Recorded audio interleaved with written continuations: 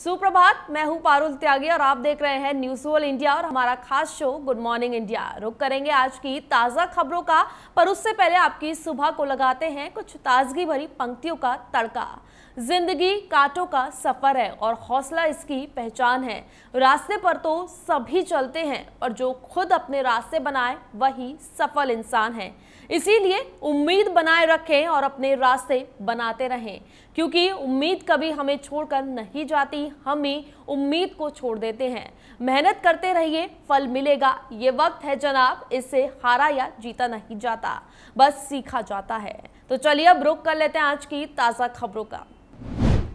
पंजाब के CM captain Amarinder Singh की Delhi parade जारी है। आज सीएम अमरिंदर जनता मंतर पर जाकर कृषि कानूनों का विरोध कर रहे पंजाब कांग्रेस के नेताओं से मुलाकात कर सकते हैं। इससे पहले कैप्टन मंगलवार को फिर साढ़े तीन घंटे तक खड़गे कमेटी के सामने पेश हुए। कमेटी ने कैप्टन को चुनावी वादों को पूरा करने के लिए फास्ट ट्रैक रणनीति बनाने का मशवरा भी दिया। तो कैप्टन ने पंजाब में अंदरूनी कलह के चलते पार्टी नेताओं की तरफ़ से हो रही बयानबाजी का रोना रोया। पार्टी में कैप्टन के सियासी विरोधी नवजोत सिंह सिद्धू ने सोमवार को अमरिंदर सिंह पर बादल परिवार के साथ मिलकर पॉलिटिकल बिज़नेस चलाने का बड़ा आरोप लगाया था। कैप्टन और सिद्धू को लेकर कांग्रेस में मैराथन कसरत जारी है। पहले जो काम सोनिया गांधी की तीन सदस्यीय कमेटी ने किया, वही अब पूर्व अध्यक्ष राहुल गांधी कर रहे हैं।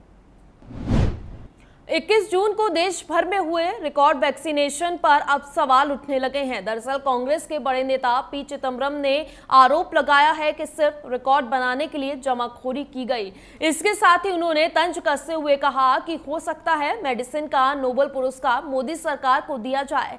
चिदम्बरम ने दावा किया कि रविवार को टीकों को जमा किया गया और सोमवार को टीकाकरण का विश्व कीर्तिमान स्थापित किया गया। लेकिन इससे अगले दिन फिर से पुरानी स्थिति रही। उन्होंने केंद्र पर कटाक्ष करते हुए कहा कि इसको लेकर मोदी सरकार को औषधि के क्षेत्र में नोबल पुरस्कार मिल सकता है।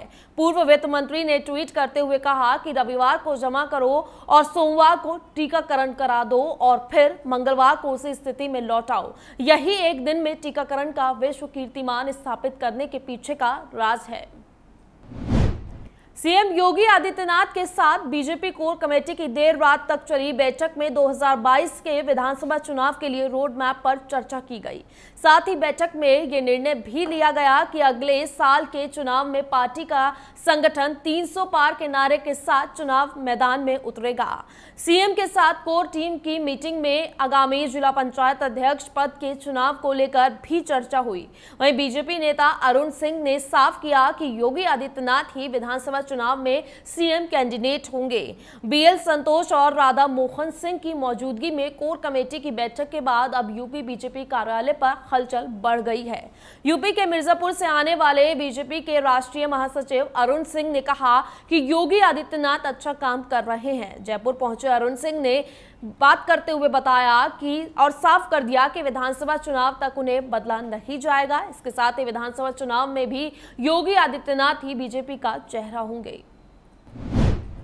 भारतीय वायुसेना पहली बार अमेरिकी नौसेना के साथ हिंद महासागर में सामरिक महत्व को एक बड़ी एक्सरसाइज करने जा रही है। दो दिवसीय, यानी कि 23 और 24 जून, ये इस नौसेना अभ्यास हिंद महासागर में किया जाएगा। भारतीय वायुसेना की तरफ़ से सुखोई और जगुआर फाइटर जेट्स के अलावा इवेक्स टोही विमान और रिफ्यूलर्स हिस्सा ले रहे हैं। वहीं अमेरिकी नौसेना की तरफ़ से Ronald Reagan carrier strike group हिस्सा ले रहा है। बता दें, भारतीय वायुसेना के मुताबिक अमेरिका के साथ स्ट्रेटेजिक आउटरीच एक्सरसाइज त्रिवेंद्रम स्थित दक्षिणी कमान के ज़िम्मेदारी क्षेत्र में होने जा रही है, लेकिन इस युद्ध अभ्यास में वायुसेना की चार कमान से फाइटर जेट्स और टोही विमान हिस्सा ले रहे हैं। बता दें, एक्सरसाइज भी त्रिवेंद्रम से सटे समुद्र में ही की जाएगी। वहीं वायुसेना के मुताबिक अमेरिकी नौसेना के कैरियर स्ट्राइक ग्रुप में aircraft carrier USS Ronald Reagan के अलावा missile destroyer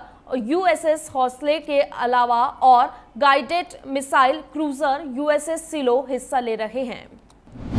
world test championship के फाइनल में टीम इंडिया ने न्यूजीलैंड की पहली पारी को दो रनों से समेट दिया। न्यूजीलैंड को इस स्कोर पर समेटने में तेज गेंदबाज मोहम्मद शमी का अहम योगदान रहा। उन्होंने छिहत्तर रन देकर कीवी टीम के चार बल्लेबाजों को पवेलियन भेज दिया। न्यूजीलैंड टीम का स्कोर एक समय 101 था और ये मज़बूत स्थिति में थी, लेकिन पाँचवें दिन के पहले सत्र में शमी ने कमाल की गेंदबाजी करते हुए मैच में टीम इंडिया की वापसी कराई। शमी ने दिन के पहले सत्र में रॉस टेलर और बीजे वॉटलिंग का विकेट भी लिया। उन्होंने दूसरे सत्र में भी अपनी गेंदबाजी का जलवा दिखाया। लंच के बाद इस सत्र में शमी ने कॉलिन ब्रेंट और काइल जेमिनसन का विकेट लेकर टीम इंडिया को दो बड़ी सफलता दिलाई। तो ये थी आज की कुछ ताज़ा खबरें। बाकी चुस्त रहिए, मस्त रहिए, स्वस्थ रहिए और जुड़े रहिए न्यूज़ वर्ल्ड इंडिया के साथ। और देखिए देश दुनिया की खबरें एक नए अंदाज के साथ। नमस्कार।